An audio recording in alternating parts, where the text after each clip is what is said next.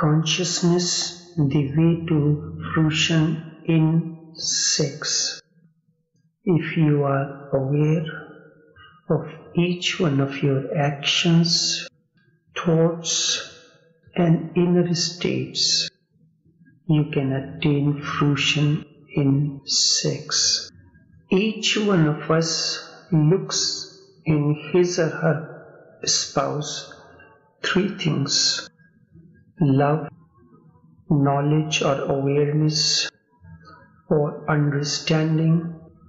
And when these two are bridged together, then actions comes into existence. For love, devotion is very important. If you are devoted to something, you love something, then you can put your all the understanding, then action follows. This is the way we move into the outer world. So these are the three attributes that we look in each spouse. Love means its journey begins from lust. First, the attraction happens for the body. If you remain engrossed in the body, then anger, greed, lust, and attachment, and with that jealousy, all these remain the outcome. If there is awareness and you know that one day the beauty of the body, all this will disappear. So before it disappears, let there be fruition. Before the day comes to an end, let us finish all our work that we need to do that day. Then love is born out of that. You, you move from nafs or lower emotions to higher. Then love becomes the guiding force and impetus. How many times does it happen that your spouse is your best friend? In the beginning, it may happen, you may discuss everything with the spouse, but afterwards it does not happen so. In reality, the spouse should be the source of inspiration to you. Her devotion, her love becomes a source of inspiration to your cause. The growth in the inner world as well as the outer world. When love attains its fruition, then understanding comes.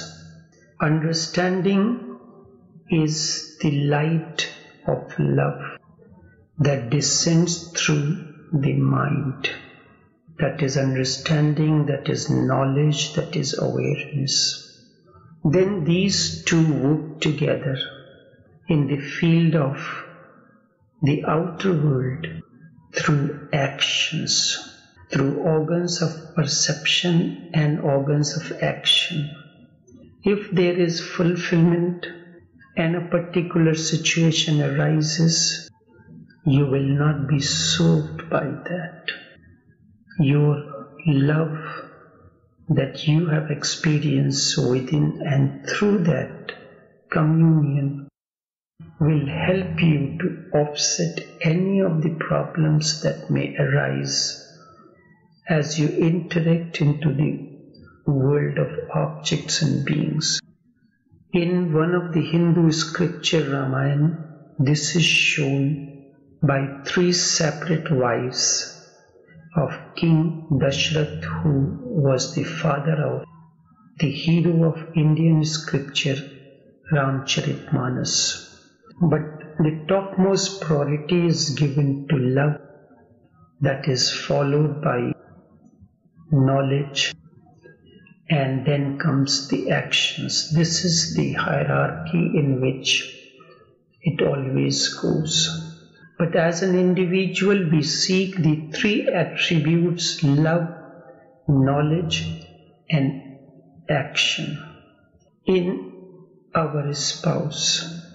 Sometimes it happens otherwise. You can you treat your spouse only a source for the fulfillment of physical needs, but you do not think the spouse to be capable of sorting out or helping you in the field of action and when inspiration is needed. Although you have to be a self motivated person along the life's roads, but yet still the presence of the spouse is a great asset. And when love and knowledge merges into one another, the action is the outcome. Through consciousness alone, matter, lust, and all that is gross, and even the acts are transformed, and you attain to the higher realm of consciousness, the realm of bliss and harmony. Know this as the only way, the orgasmic experience through sex to attain beyondness. Matter is energy, and energy cannot be destroyed. Only the form of energy changes from gross to subtle. Modern physics has discovered one of the greatest things ever, and that is this is the contribution of Albert Einstein energy is equal to mc square. Matter only appears and there is no such thing as matter. Nothing is solid. Every, even the solid rock is a pulsating energy. At another time, I'll speak on the other as, different aspects of energy, the kinetic energy, the sound and the other energies. Whenever the object is moving, it is kinetic energy that is at play. Even the solid rock is pulsating energy. Even the solid rock is as much fluid as fluid like energy as the roaring ocean.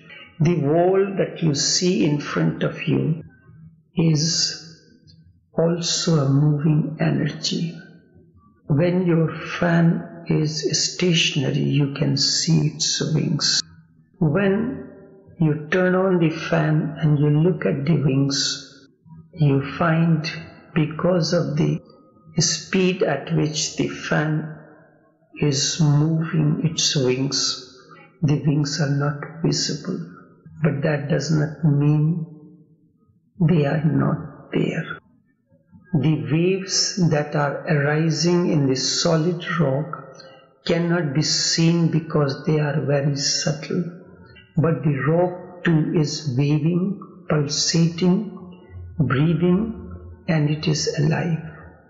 And here it comes the different layers of consciousness. Consciousness is related to the phase of moon. Moon has 16 phases. So when something is born with one face, which is like rocks and so. Very rarely an individual is born with 16 layers of consciousness that are associated with the face of moon. Rock too is waving, pulsating, breathing, and it is alive. However, its movement is so subtle that mind cannot capture it. Friedrich Nietzsche has declared that God is dead. He is mistaken. God is not dead. On the contrary, matter is no more. Matter is dead. The more precisely, matter is not dead either. Something dies only if that exists as matter. Matter has been found not to exist at all. This insight into matter brings modern physics very close to mysticism. For the first time, the scientists and the mystics are coming very close to one another. Mystics have always maintained that consciousness is Man exists as consciousness. Man is nothing else but ever expanding consciousness. Such is the understanding of sages and mystics and all those who have known. Sir Arthur Stanley Eddington, a British astrophysicist of the 20th century, discovered the Eddington limit, the natural limit to luminosity of stars, the natural limit to the luminosity of stars or the radiation generated by accretion onto a compact object is and this is named in his honor. He is famous for his work regarding regarding the theory of relativity. He has explained to the English speaking world. Also, he also conducted an expedition to observe the solar eclipse, the famous solar eclipse of 29th of May 1919 that provided one of the earliest confirmation of relativity. Although theory of relativity was discovered by Albert Einstein, but people were not able to understand it. It was Eddington who made this understandable for the British and for the greater part the outer world. And he became known for his popular exposition and interpretations of the theory as one of the greatest scientists of his age, he said, We used to think that matter is thing. Now it is no more so. Matter is more like a thought than like a thing. Entire existence is energy. Scientists has discovered that the observed is energy. All that is observed is energy. The object is energy. At least for 5000 years, it has been known that the other polarity, the subject, the observer or consciousness is energy. Indeed, consciousness is energy. It is fluid like. That is why it goes on expanding. It is dynamic, constantly moving. Your body is energy your mind is energy, and your soul too is energy. Then what is the difference between the three? The difference is only of a different rhythm and different wavelength. Body is gross. Through body, energy functions in a gross way, and as a result, it is visible. At the level of the body, there is lust. There are actions emerging out of lust. These can be encompassed as sex. We can see this. Contrary to body, mind is relatively more subtle but is still not too subtle. You can close your eyes and you can see thoughts moving on the inner sky. Thoughts can be seen they are not as visible as your body. Your body is visible to everyone. Human body is publicly visible. Your thoughts are private and remain visible to you alone. Nobody else can see your thoughts. Only you can see them or people who have worked very deeply into seeing thoughts but ordinarily they are not visible to others. And third, the ultimate layer inside you is that of consciousness, is that of nur, is that of light. It is not even visible to you. It cannot be reduced to an object. Hence it remains the subject when all these three layers of energy function in harmony, you are healthy and whole. If these energies do not function in harmony and accord, you are ill, unhealthy. You are no more whole, and to be whole is to be holy.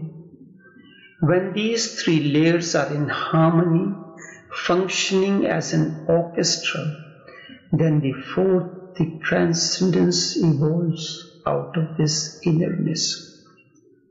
As a master, his effort is to discover ways to help you so that your body, mind, and consciousness all can dance in one rhythm, in togetherness, and in deep harmony, not in any conflict, instead in deep cooperation.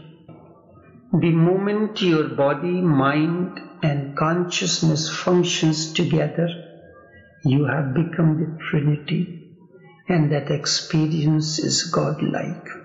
Therein, all experiences of the body, mind, dissolve to attain to an orgasmic experience of cosmic oneness or the oceanic presence where all the rivers have merged into oneness. There is no relationship between consciousness and energy. Instead, consciousness is energy, the purest energy. Mind is not so pure, and body is still less pure. Body is much too mixed, and mind is also not totally pure. Consciousness is totally pure energy, but you can know this consciousness only if you make a cosmos out of the three, not chaos.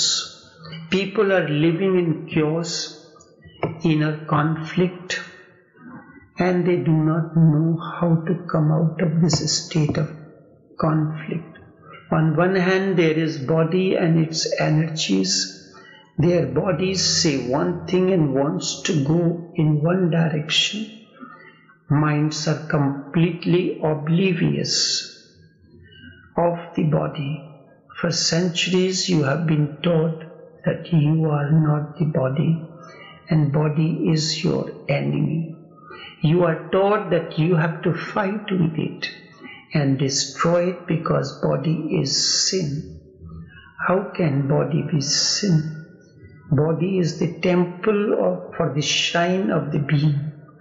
Ruh cannot exist anywhere except in the cave of the body. Body is the temple for the shrine of the being. It is the outer dimension of this shrine. Also, body is the instrument of perception and action. It is through the body through its instruments of perception and action, consciousness and or light manifests. Just as electric current can work only through electrical instruments, it must receive instructions from somewhere else. There are traditions that condemn body as the sinner. When Adam sinned for the first time, it was proved propagated that it was body that sinned. What is that prompted Adam to go to that forbidden tree? We could not see that which prompted him. Certainly see the feet moving towards the tree. We can see the feet moving towards the pup.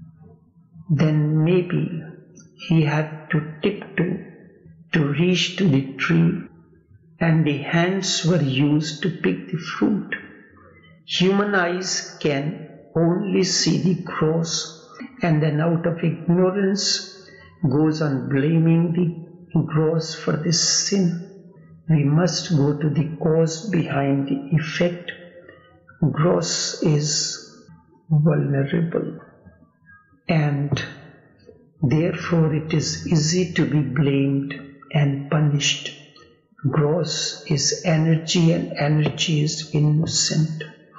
Such things are harmful and poisonous, but these have been taught for so long that these have become part of our collective mind. Such conditioning is there, and as a result, you do not experience your body in a rhythmic dance with consciousness that you are. I emphasize on dancing, music, song, and celebration because it is only in dance that you will feel that your body, your mind, and you are functioning together. Dance is one of the greatest technique. Jalaluddin Rumi used whirling as an aspect of dance. And he be- while the body was dancing, he became aware that there is something which is unmoving. It is in the dance you become aware of the axle. Seeing a grinding stone, Kabir became aware of that which does not move the axle. The wheel goes on moving, but there is something in the wheel on which the wheels stays, and that on which the wheel sustains remains immovable. If that too begins to move, then there will be a chaos. This is why, this is what Sufi whirling is. Rumi danced for 36 hours. The body was whirling, but he became aware of the unmoving or the subtle movement of consciousness within. And in that state, Rumi attained to enlightenment. And the joy is infinite when all these function together and the richness is great. Consciousness is the highest form of energy, and when all these three energies function together through any act, the fourth happens. This is why Sufis, the, specifically the Chishtiya order, emphasize on sama, the congregational sessions where there is singing, music, and in that an ecstatic state happens that somebody gets up and begins to dance. Even those who find it difficult to move their feet when the music begins to play, the dance movement becomes uncontrollable. But again, it depends upon what kind of music is being played. Does it affect the bodily movement or it affects the deeper aspects of your being? Therefore, the fourth is always present when these three function together. When these three function as an organic unity, fourth is always there, is still invisible but functioning. The fourth dimension is nothing but organic unity. Gurdjieff used this word, fourth dimension. In the East, we have called that fourth simply the fourth or Turiya. Turiya or the fourth is transcendence. We have not given it any name. The three have names, fourth is nameless. to know the fourth is to know God. More precisely, God is when you are an organic, orgasmic unity. God is not when you are chaos, disunity, or conflict. When you are a house divided against yourself, there is no godliness. When you are tremendously happy with yourself, happy as you are, blissful as you are, grateful as you are, and all your energies are dancing together. You are an orchestra or synergism of all your energies. Godliness surrounds. In that state, in whatever act, be it sex, you enter, it will take you beyond. Then one day when you reach the ultimate, you are transformed. Meditatively, when you enter sex out of your inner harmony, not out of chaos, you certainly get the glimpse of orga- organic, orgasmic oneness, both inner and outer. That feeling of total unity or synergistic harmony is God, not like a person somewhere. Instead, God is the experience of three falling in such unity that fourth arises, and fourth is more than the aggregate of the parts. When you make tea or coffee, five things are needed. You need water, you need milk, you need coffee or tea, you need sugar, and you need heat. When all these three, all these five elements water, coffee, sugar, milk, and fire lose their separate identities, you obtain something which is coffee, and coffee is the transcendence, it is the fourth dimension. Water is no more as water, coffee is no more as coffee, sugar is no more as sugar, milk is no more as milk, fire is no more. All these have lent their qualities to attain to something which is transcendence. This is what happens when the body, mind, and consciousness lends its quality. What is the quality of the body?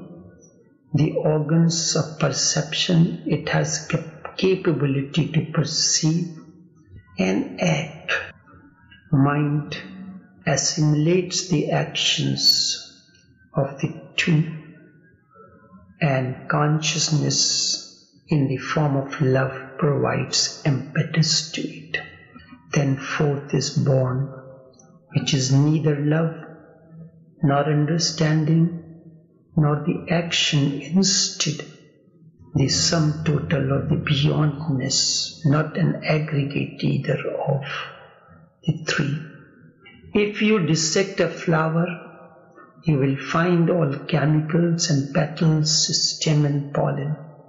Maybe you can even separate the color and the fragrance too, but the flower will not be there. Remember the color, the petals and fragrance is not flower or its aliveness. Even the aggregate of these are not flower. Flower is something more. That something more is expressed through the flower. Color, beauty, fragrance, and aliveness that surrounds the flower. The whole is more than the sum total of the parts. It expresses through the parts but it is more. To understand that it is more is to understand God. God is that more, that plus. It is not a question of theology. It cannot be decided by the logical argumentation. You have to feel beauty, music, and dance. And when you feel beauty, there are three aspects that is what Hindus call it Satyam, truth, Shivam, the that which is eternal, Sundaram, beauty. These are the three doors through which you can enter beauty, music, and dance. And ultimately, you have to feel the dance in your body, mind, and soul. You have to learn how to play on these three energies so that they all become one orchestra. When a music concert begins, all the musicians begin to tune their musical instruments. And when all the musical diverse musical instruments are tuned together, there is orchestra. Orchestra means when all the diverse musical instruments are playing in harmony with one another. And that orchestra is God. Not that you see God. There is nothing to be seen. God is the ultimate seer that is witnessing. Learn to melt your body, mind, soul.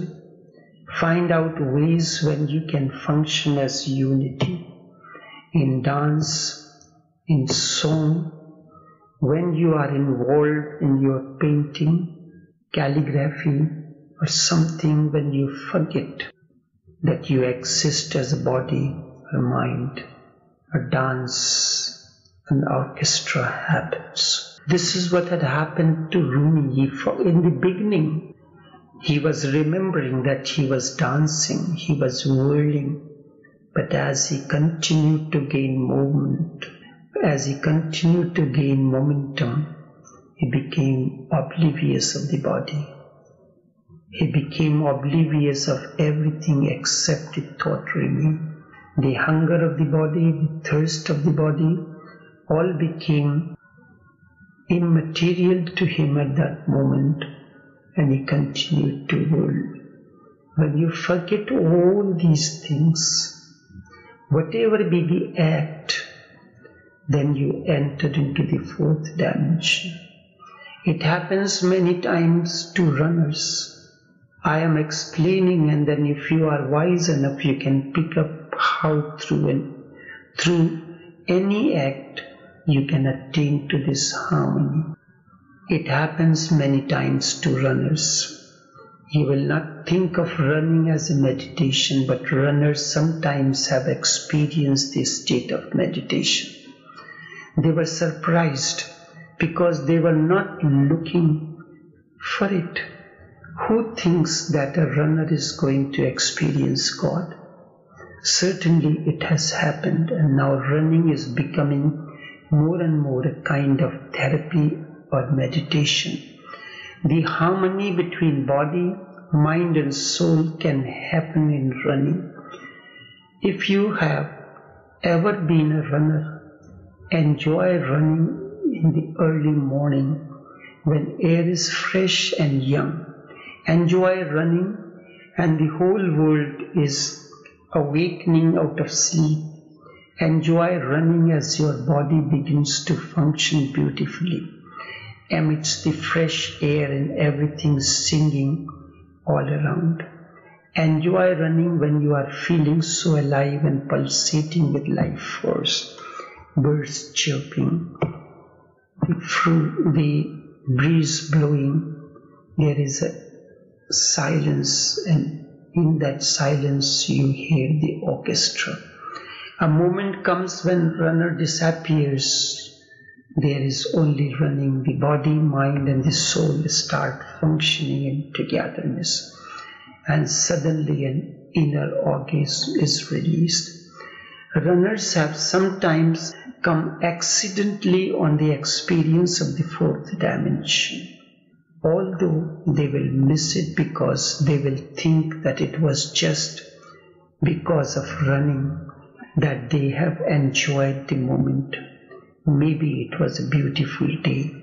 The body was healthy and the world was beautiful. They miss it. And there was just a certain mood.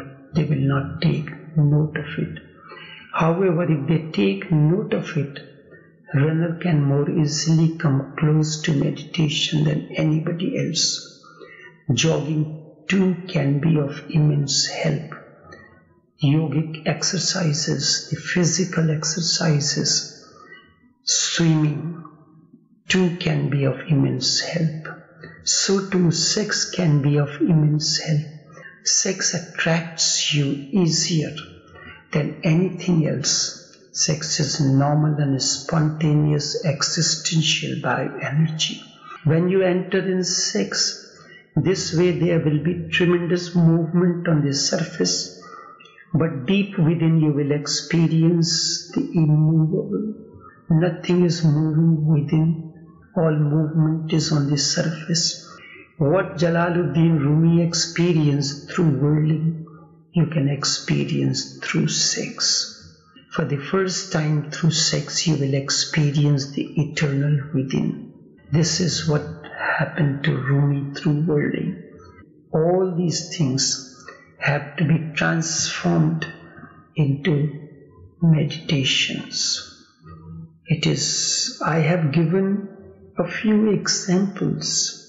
You can choose any example through which you can experience the harmony at all the three levels.